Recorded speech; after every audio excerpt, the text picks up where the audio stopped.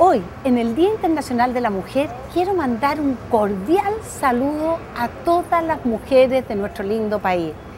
Y en especial, un abrazo y un reconocimiento a las mujeres de Maipú, Cerrillo y Estación Central.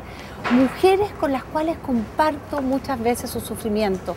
Mujeres que conozco su sacrificio, ya sea porque se sacan la mugre trabajando dentro, pero también fuera de su hogar o porque se hacen cargo no solo de sus niños, sino que también de sus adultos mayores.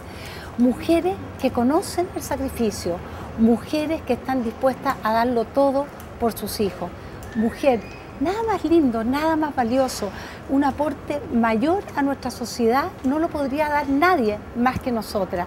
Y es por eso que te quiero reconocer y te quiero decir que todos los días debes recordar lo imprescindible que eres tú, cada una de nosotras, para nuestra familia, para nuestra comunidad y para nuestro país.